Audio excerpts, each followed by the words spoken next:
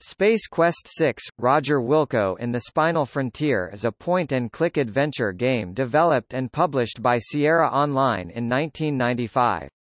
It is the sixth and final game in the Space Quest series.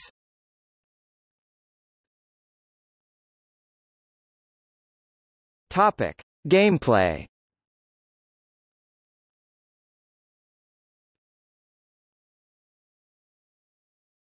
Topic. Plot The game begins with Roger Wilco being court-martialed for various humorous reasons all of which Roger, being the idiot that he is, cannot defend properly. He is demoted back to his position as second-class janitor aboard the SCS Deepship 86 a parody of Deep Space Nine. Among the reasons for Roger being simply demoted and not expelled from StarCon is the safe return of the SCS Eureka.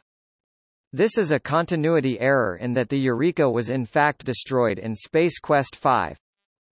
Later, on the Deepship, Commander Kielbasa named after the Kielbasa sausage and a parody of the Kilrathi from the Wing Commander series of video games announces that, as reward for their excellence in A Glitch in Time Saves Gamma 9, a parody of A Stitch in Time Saves 9, they are to be given shore leave on the planet polysorbate LX.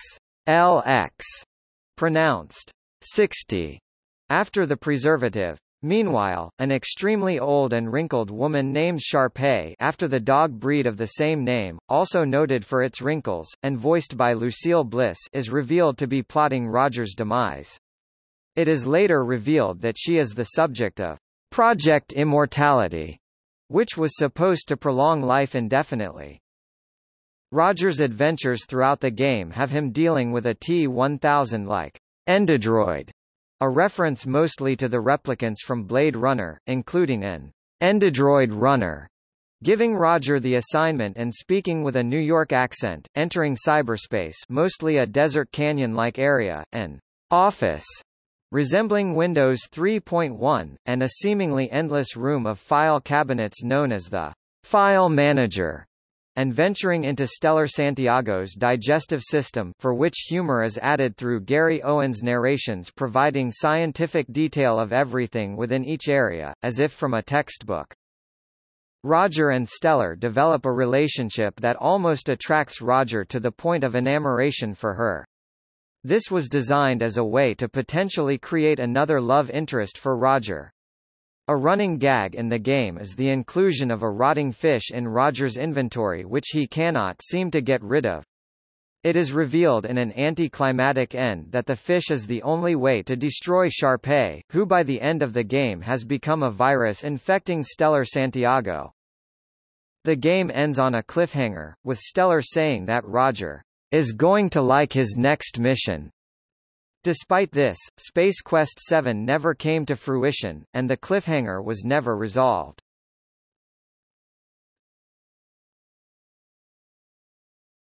Topic. Development and release Space Quest 6, Roger Wilco in the Spinal Frontier ran on the later SCI-32 engine Rev 2.100.002.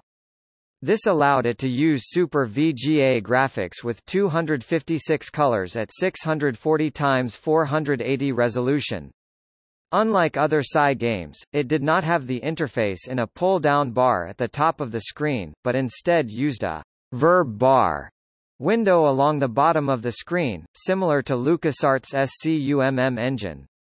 The graphics style was also more cartoonish than in previous games, as well as incorporating an ample amount of 3D rendered images. Gary Owens served as narrator once again. This game was the last to be released in the Space Quest series. Having defeated the diabolical Pukoid mutants in Space Quest V, Captain Roger Wilco triumphantly returns to StarCon headquarters, only to be court-martialed due to breaking StarCon regulations while saving the galaxy. The game's subtitle comes from the final portion, in which Roger has to undergo miniaturization and enter the body of a shipmate and romantic interest, a spoof of the 1987 movie Innerspace.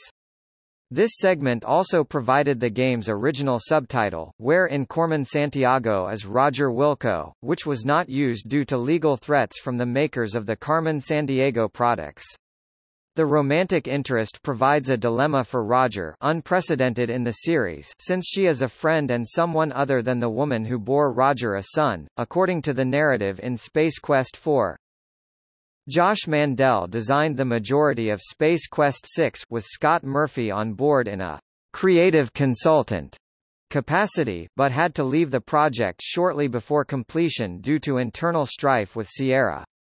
Sierra asked Scott Murphy to complete the game, and then reportedly against Murphy's wishes promoted SQ6 as if the former guy from Andromeda was solely responsible for it. As an additional result of this change in designers, some puzzles primarily in the later stages of the game were poorly implemented due to lack of communication. In a 2006 interview, Mandel spoke candidly about his disappointment with the uneven puzzle design and implementation in the game. One of the inventory items cut was a comic book CD in Nigel's room that was fully readable and had all the hints to the datacorder puzzle. From a writing and design standpoint, it was fully finished, and I know that Barry Smith had started the artwork. I don't understand why it was cut. But the comic book content was something I'd worked on for months, and it was something that I was uncharacteristically proud of. I think it would have been one of the greatest parody sequences in the SQ series. So not only was I very upset not to see it in the game, but the fact that they had to put the datacorder hints in the manual, leading player to think it was meant to be copy protection, disturbed me greatly. Sierra Online created a special CD-ROM version of Space Quest 6 a demonstration game, which was distributed with Sierra's Interaction magazine, PC Gamer Disc 9 included with Volume 2, Issue 8 from August 1995, early pressings of Phantasmagoria, and possibly other media. This self-contained demonstration featured an alternate story not related to the main game and is fully voiced by the Space Quest 6 voice actors early versions of the demo did not have full speech. The demo begins with Roger Wilco floating in space outside the bridge, washing the viewscreen while everyone else on the bridge is relaxing.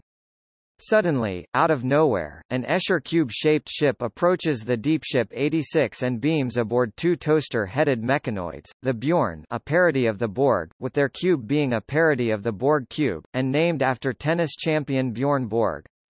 They turn all of the crew into scoops of lemon sorbet except Roger, who quickly ducked behind the viewscreen. Now it is up to Roger to find a way to restore his crewmates and drive off the Bjorn invaders.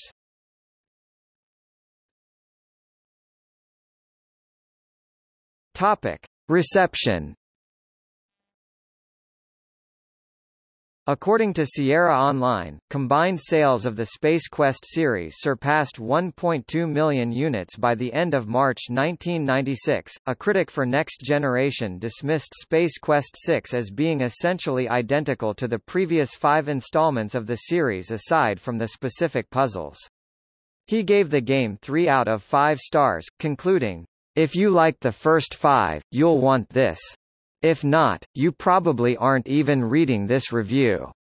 PC Gamer US's Gary Meredith wrote that it is not the best of the Space Quest series, as it takes a couple of steps backwards as far as the graphics and voice-overs are concerned. He criticized the game's narration, noting that he had disliked it in Space Quest 4 as well. However, Meredith believed that Space Quest 6 would appeal to fans of the series. Space Quest 6 tied for third place in Computer Game Review's 1995 Adventure Game of the Year award category. The editors noted its good voice work and very nice animation and praised its humor.